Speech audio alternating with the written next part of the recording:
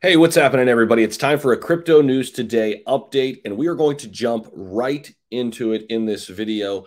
Yes, the market is dipping right now, but I did say last night on a Twitter space, Sean, thank you so much for having me last night, that I do think we would dip lower before we saw the top of this cycle. And there are some indicators out there that that is happening right now. Bitcoin is 45,000 and some change at the time of this recording. I do think we can dip a little bit lower before we see a blow off top in early 2022 in the first quarter. Some other people are still calling for a super cycle into 2022.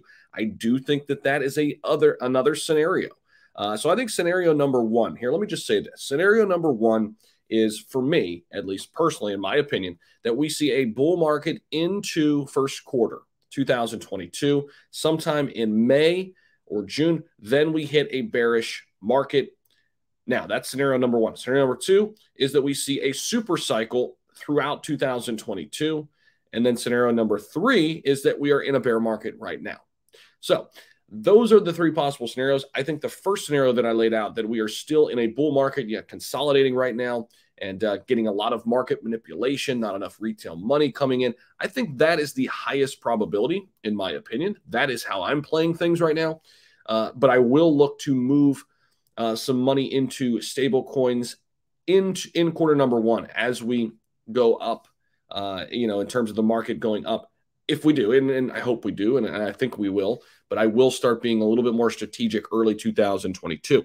So that's where I'm at now. Let's jump into what Bitcoin's price is doing because it impacts the overall market so drastically, right? We know that. Now, 44,000 could be the bottom. This was uh, Coin Telegraph contributor Michael Van de Poppe. I follow him on Twitter. Great follow. He posted the following chart outlining a rough sketch for how BTC price action could unfold over the next couple of months. Okay. Now, he's got, based on the chart provided, Poppe sees the possibility of another drawdown to the 44,000 range, which will be followed by a return to the current levels for a brief consolidation period and then a resumption um, of the uptrend. Now, he uh, he went on to say that you know this could go well into 2022 before we reach the top of Bitcoin in this cycle.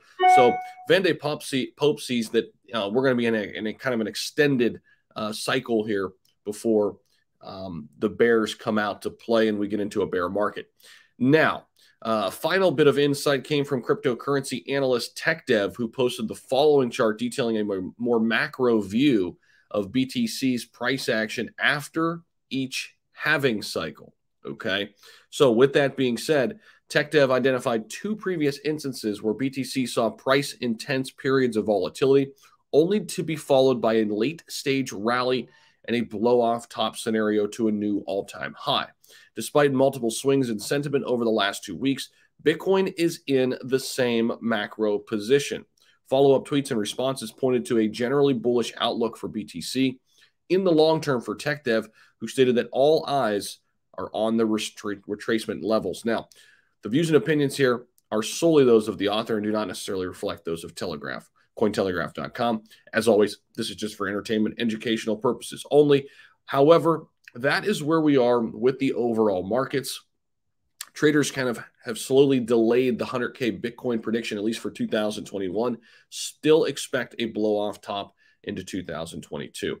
I believe 70 to 75,000 could be our next top, maybe 80,000. I just don't think it's going to get upwards to 90 to 100. I could be wrong. I would love if I were. Okay. But I do think that, you know, we're, we're not yet done in this cycle. I do think that, um, in my personal opinion. And I mean, uh, that also means that altcoins are not done running as of yet either. Okay. So, with all that being said, thank you so much for stopping by. Like that smash button, subscribe to the channel. Patreon link down below in the description. We are bringing a weekly podcast starting this week. More details to come. We're going to launch that first episode later this week. Can't wait for that. It's going to be a great one and uh, going to be a lot of fun. Myself and Austin Hilton going to uh, bring you uh, new updates each and every week with our weekly podcast. So thank you so much for stopping by, and uh, I will see you in the next video.